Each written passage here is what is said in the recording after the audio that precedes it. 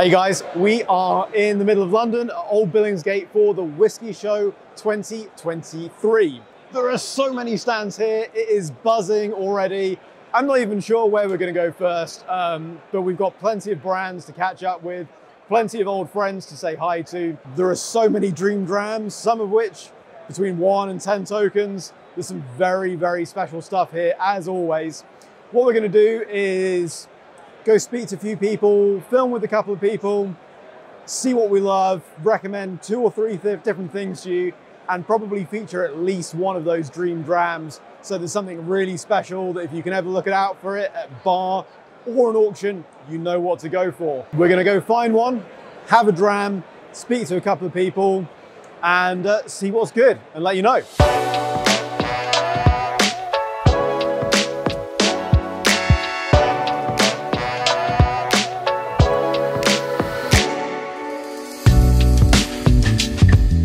Hey guys, we are here at the Torabhaig stand. Torabhaig is the newest distillery on the Isle of Skye. Relatively new, in fact it is my favourite of the new distilleries. And uh, I was just uh, with Neil a couple of days ago for the launch of the Allt Gleann Cask Strength Edition. Neil, would you like to tell us a little bit more about this whisky?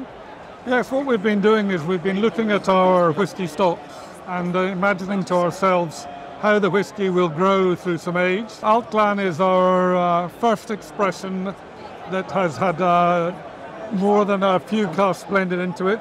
We've actually made around about 150,000 bottles of it, which for a small distillery is quite a lot.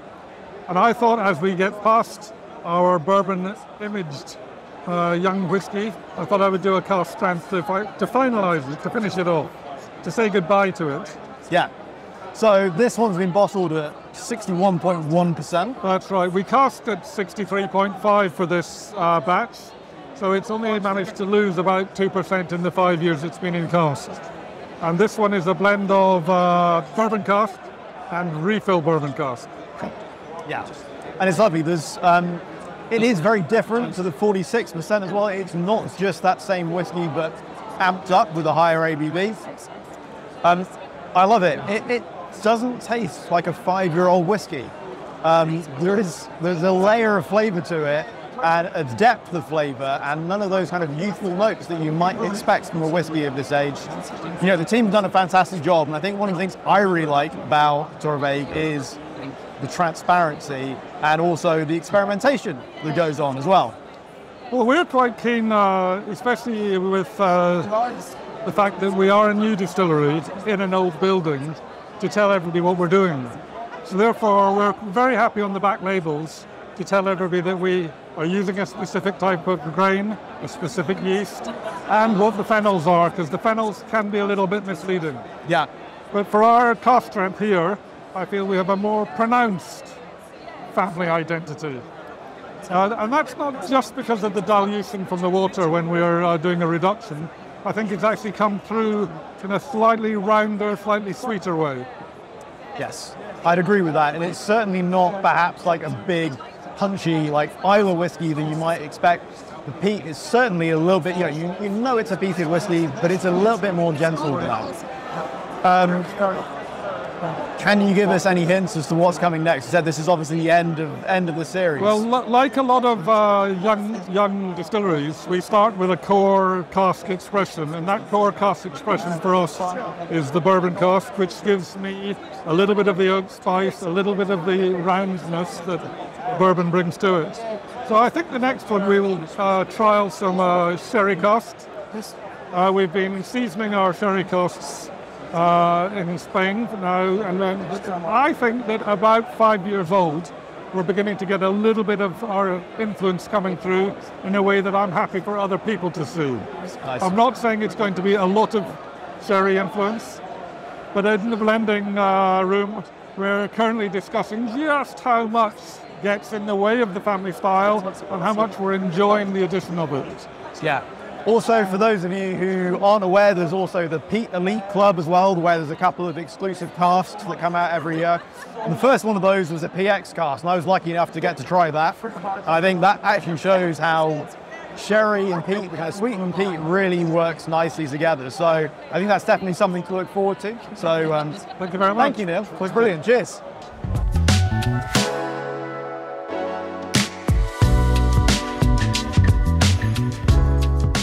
This is a cask sample of a Glencadam Madeira cask. Not ready yet, so it's not something that you can buy. This is one of the great things about coming to a whiskey show, right? there are brand ambassadors here that have pulled things out of their cupboards, out of their blending rooms, cask samples. If you're lucky, you, you know, you get a bit of rapport, you have a chat. You can just try something that is not going to be on the shops for goodness knows how long. And this is a kind of deeper, darker Glencadam. Not quite as much, perhaps, as some of the PX casks they've got out there.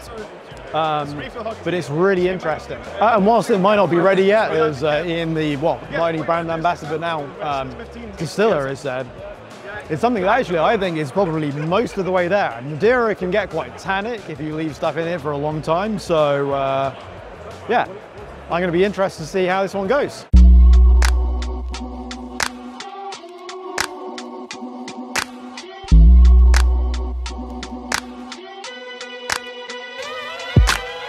I'm here on the Glenallachie stand with Andrew, and we're going to talk a little bit about Meikle Toir. Perfectly pronounced, yeah. Perfect. Got there in the end. Yeah, yeah. Um, it's the latest release from Glenallachie.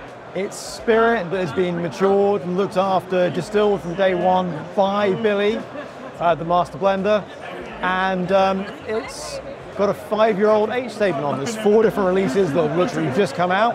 I'm trying for the first time. I've got the Chinkapin in my glass. Andrew, you want to tell me a little bit more about it? Yeah, so um, I mean, Meikle Toir, it was released just Tuesday of this week, so it's been great to bring it down to London to the, to the Whisky Exchange show to kind of showcase it to the public for the first time, which has been awesome. Um, yeah, the guys at the distillery, Billy, and the rest of the whole production team, the, the guys in the stills, the guys in the warehouse, have been working on this, yeah, for the last kind of five years, which has been awesome. It's been great to kind of showcase this for the first time. Um, We've released it with four different uh, four different batches, as you like, using different cask type, which is what Billy Walker is kind of known for um, and recognised for. This one that we're trying is it's called the Chinkapin one. It's a very simple name. It's uh, five years old. It's been matured for about two and a half years in ex bourbon, and then finished off in Chinkapin Virgin Oak, which is a of genus of, uh, of virgin oak found in kind of Missouri and other parts of America, um, and it gives it a slight uh, sweet yet spicy, um, spicy notes, spicy flavours. Um, and using the ppm, it's 35, which, as I was just saying, is the the peat that's actually and the phenols that's actually in the glass in the bottle. Um, the actual phenol count in the malt itself was probably about 80, above 80, but obviously during the whole production and maturation cycle it decreases. Um, so yeah, this is what we have. We use peat from St Fergus, which is mainland peat from the northeast of Scotland. Um, so it's slightly different to your kind of Islay peat. It's almost less intense, but a, little bit less uh, medicinal, which is uh, which is great, and we're very proud to kind of showcase it and uh, yeah, bring it to market for the first time here. So. That's really interesting because you you get some of the peat on the nose, and then actually on the palate to start with, it's much perhaps softer than the nose would expect, but then some of those kind of uh, bonfire embers kind of really come through nicely on the finish. Yeah, so um, it's almost like so gentle kind of bonfire of small taste, which again, you're lucky with sort of peated uh, single malts, they almost get almost afraid and think it's going to kind of jump, so jump away at them and jump in their face. But this, it's much more gentle, kind of laid back. So. And again, for five years, you know, this tastes much more mature. I think than the five years old. Obviously, you know, Billy has massively, you know, reduced production, right? The fermentation times have gone massively up.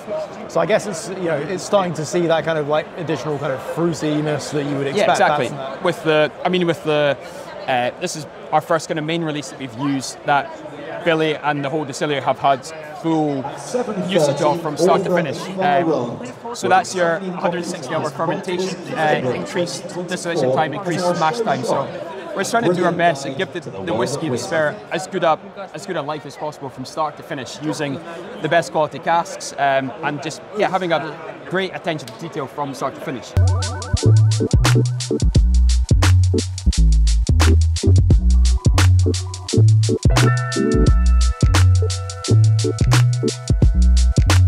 I'm here with Greg, who is the master distiller at Aberlour. And we're going to talk a little bit about the new release, which is the, um, well, re-release, I guess, the new release of the Aberlour 18. Do you want to tell us a little bit why it's different, why it's new, what's what's changed about Absolutely. the Yeah, so we've always prided ourselves at Aberlour on double cask maturation, and the 18-year-old actually stacked up in that front but to try and elevate the profile of that Aberlour 18 year old, we've now finished this product in double sherry.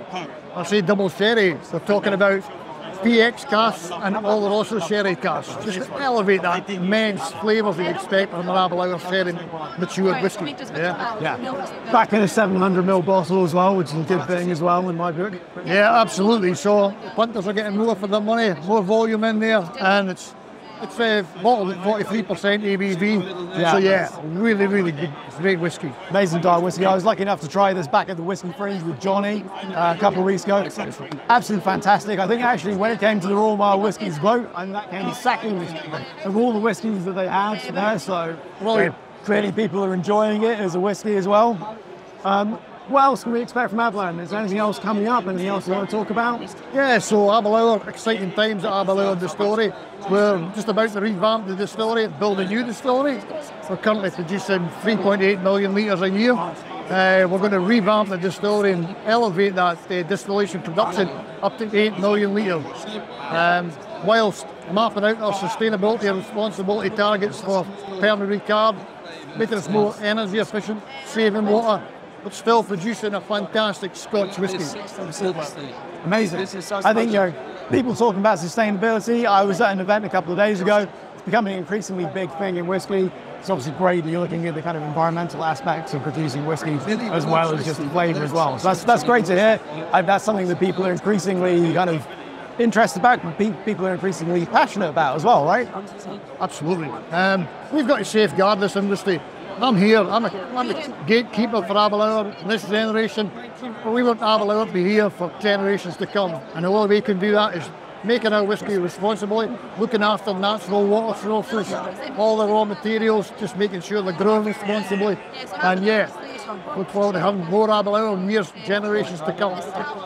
Thank you, Brian. Great stuff. Appreciate it. Appreciate your time. Cheers.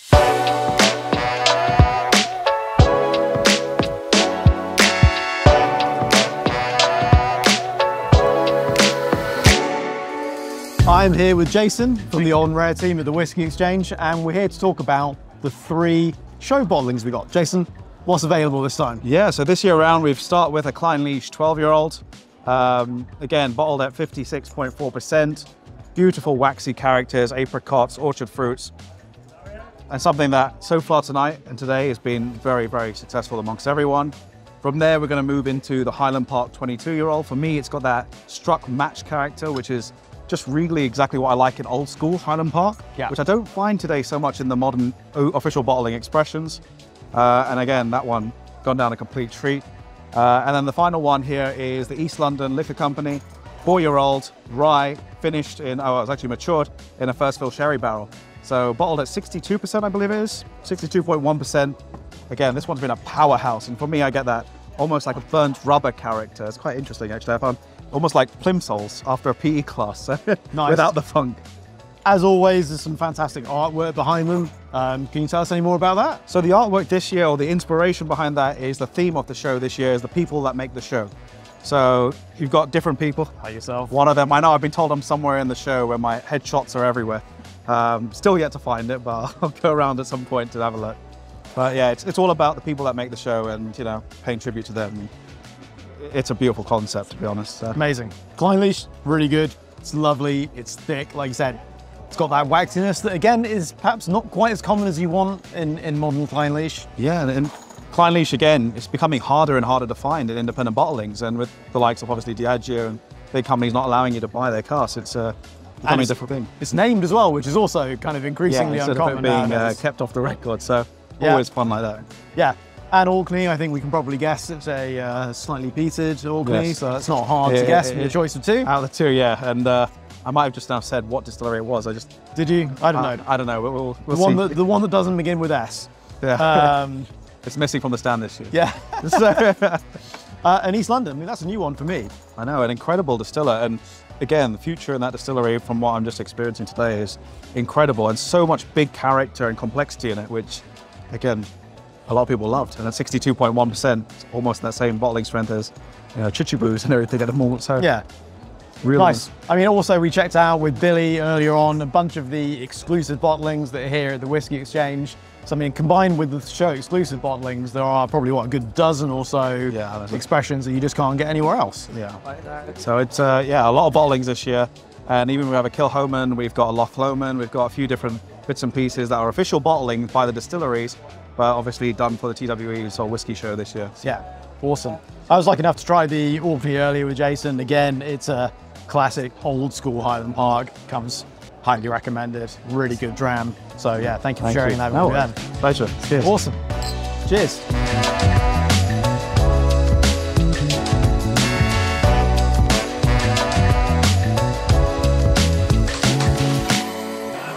What I just had? So I think you can see by the look in my eyes, it's something a little bit special. It's a 1976 Tomintoul, uh, bottled back in May 2021, and it had a seven-year-old finish in a port pipe, uh, bottled at 42.5%. Um, obviously, an exceptionally special whiskey. You don't see stuff like this on the market every day. Um, and quite unusual to see a whiskey of this age with a finish. But actually, I think it genuinely has elevated it. You've got that old school fruitiness of the bourbon, and then a very gentle, actually, finish in a refill port pipe. Um, you know, 814 bottles out of this, a couple of casks going into it. Um, the fruitiness of the port is is really there. You can tell that it's been finished in a port cask, but at the same time, nor does it overpower the spirit, which is obviously being Tomintoul as well, a very gentle spirit as well. Um, you know, this is one of the dream drams that's here at the whiskey uh, whiskey show this weekend. So thank you so much to Ian, the master blender, for sharing it. Um, this is the kind of thing that you come to a whiskey show to experience. It's just fantastic. You're not going to find this everywhere, and if you can, a bottle of it is obviously you're going to need deep pockets. So come to a whiskey show, try whiskey like this, have your mind blown.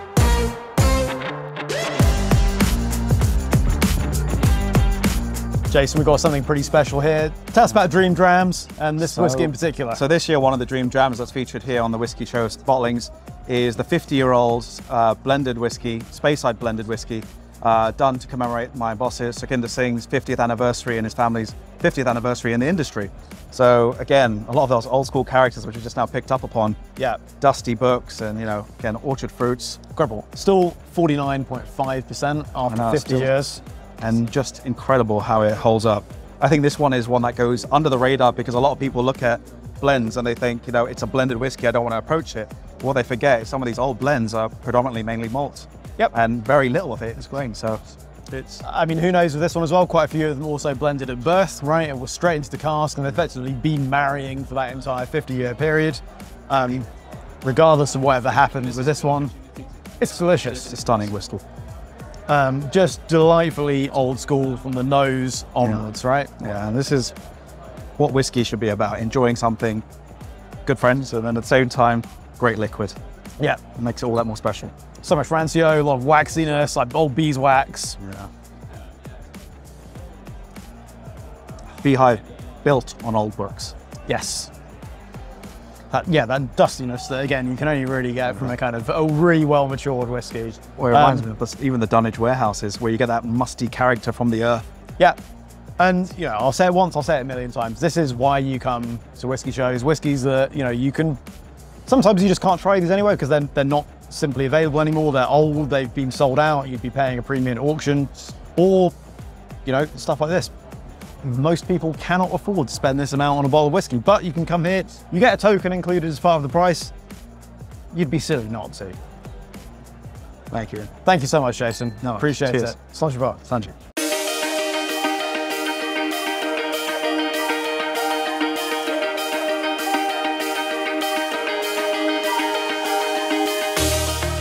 It's kick out time at the Whiskey Exchange Show for 2023. These are the last lot of people. We're probably going to be pushed out in just a minute. It's a fantastic time. It's a fantastic show. Pretty much every brand is here. We've been here for five, six hours and we have not seen half of it. So I'm really sorry if there's a brand that we know and we love that we've not seen you today. Um, we'll see you next year. Um, we could just do the one day today. Look, So many fantastic whiskies. It's almost too difficult to name. Incredible dream drams as well. I think from my perspective, probably the 1976 Port Cask from Tomintoul has to be my favorite. Again, it was one of the dream drams. So thank you to Ian, the master distiller there for sharing it. It's fantastic. Honestly, get yourself to a whiskey show. It is one of the best pieces of advice I can give you wherever you are in the industry, whether you're just starting out or whether you're an expert. There's always something you can learn, always something new to taste. Come on down. Cheers, guys. See you next time.